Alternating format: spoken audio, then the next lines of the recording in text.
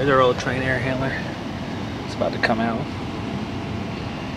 Got to pump the system down outside, disconnect the supply and return, disconnect the zone wiring, and then install new ARUF air handler in its place.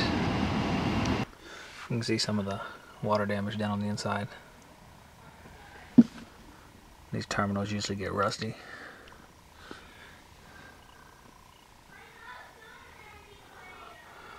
I'm take the heater off, see what it looks like. Here's our coil exposed, the leaker. The blower's been taken out to make everything lighter. So we can carry down piece by piece. No need to kill ourselves. Coil still, it's hard to see. You can only see it down in there. I can see it a little bit. It's, it's clean as a whistle. filter was kept in it on the rack. Um, so it was taken care of and changed monthly. Alright, time to get the coil out of here. We'll carry it down separately, get it ready for the scrapyard, and then move on to taking the ductwork off. Two ductboard plenums, metal on the inside sandwiched in, metal on the outside screwed through both is how they're kept in place. So we'll take those off and move on from there. Thing's nice. All the guts are gone. There's the bypass. Guts are gone. Now here's our new Goodman unit, ARUF, three and a half ton, sitting in place, not quite in place. See, the blocks have to be evened up, and we're connecting the old plenum. We're gonna blanket off on the top. Same thing on the front here, fit it up to the old plenum.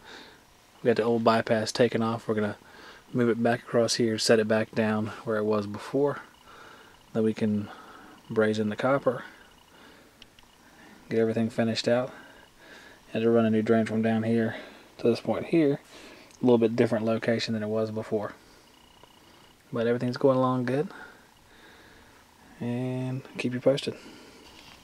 We're connecting duct board, which is basically like rigid insulation. You see it's just made of very dense insulation. And what we do is we put a flange off the air handler here and then an actual duct board, put a strip of metal like a hanging strap. You can screw through that into the flange and keep it sandwiched together like that. It's a little bit less durable than other ductwork, but if you're in an area like an attic where it won't be tampered with, it can work just fine.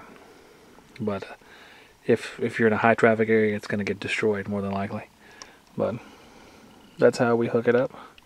Got a little access hole in so I could see where the bypass was. There's some of the ductboard fittings. You see they just bend tabs over to fasten them in place. There's the attic air duct. it's been sweating a little bit. Now we have our bypass duct back in place. We're taping the joints here. We're going to mastic them as well. And to start rewiring up the zone components. This is the bypass damper. And it works on a static pressure switch mounted in the supply duct.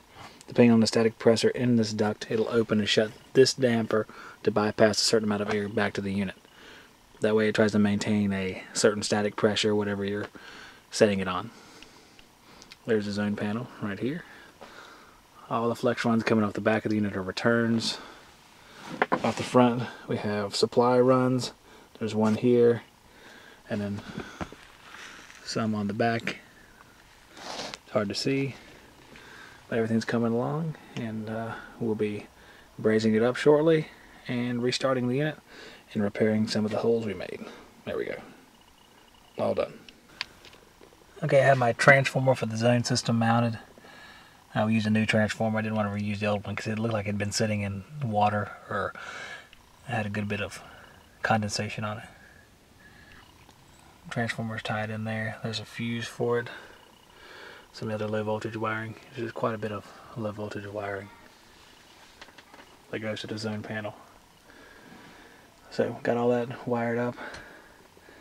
Uh, change the blower speed to what I believe it will be. We'll test it out on high. See if that works out properly. And adjust from there. And about to button this up. Got our drain finished there. It's an easy trap. There's a little plunger on the inside right here that goes up if it backs up and shuts the uh, compressor off. Just like a float switch, which we also have right there. Right, our air handler's all tied in. Set up on blocks, the drain's tied in. We have our lines run around. You hear our bypass damper motor right there, and there's our static pressure switch. I mentioned these a few times whenever you, this is an older style, you turn the knob here to adjust the static pressure sensitivity in the ductwork, and then turn it powers that motor when it's necessary to lower or raise the static pressure. That's about it. Another one of our damper motors is closed. It's cracked so it still bleeds a little bit of air by. And we're all done up here. Here's our Goodman outdoor unit. Originally a dry charge unit. 13 SEER R22. Pulling the vacuum on it right now. In a few minutes we'll be done. Got the little power stealers hooked up.